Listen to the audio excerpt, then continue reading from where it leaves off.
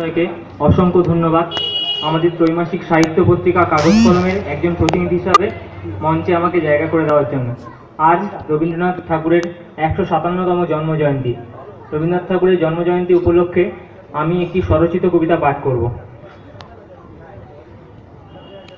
বসুন্ধরা রবীন্দ্রনাথ স্নেহাশিস বৈদ্য।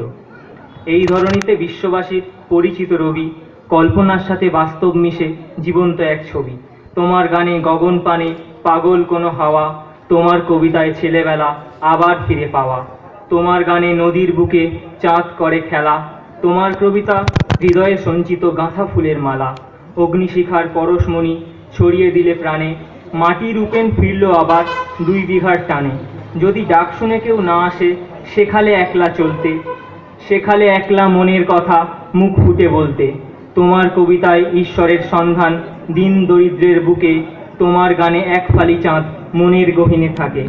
তোমার কলমে সোনার বাংলা, বারে বারে আমি দেখি, তোমার স্পর্শে নতুন করে আমি রোজ ভাবতে শিখি। চিত্তে ভয় শূন্য করে, সাহস জোগালে অন্তরে, চেনালে কেমনে, খেলা ভাঙে, রোজ খেলা ঘরে।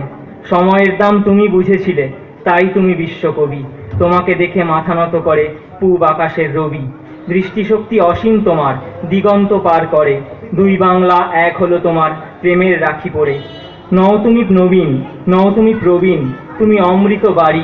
তোমার সৃষ্টি সমাজকে দেখায়, হৃদয় ব্যথিত নারী।